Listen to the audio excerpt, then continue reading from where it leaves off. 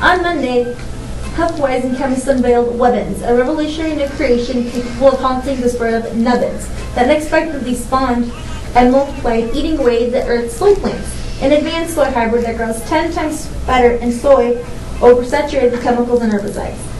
The nubbins, which is left unchecked, would have destroyed 98% of the world's soy crop and right up unpreventable havoc, made the latest scientific advance possible.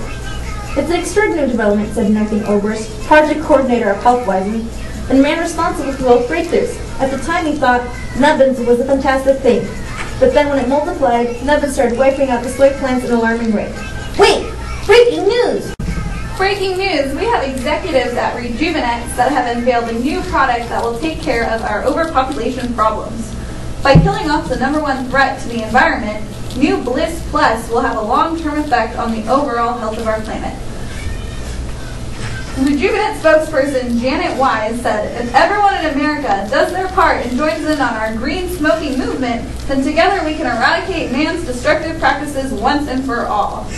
According to a press release from Rejuvenate, the new environmentally friendly cigarettes Friendly cigarettes work by employing powerful carcinogens and accumulate in the lungs of smokers, slowing, slowly breaking down their vital organs and eliminating the danger posed to overpopulated planet by the human race.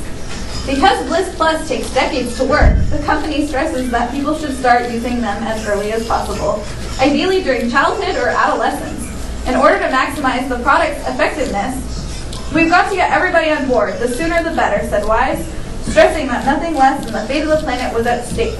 It doesn't take much. As few as two packs of Blyss Pluss a day can make all the difference in the world.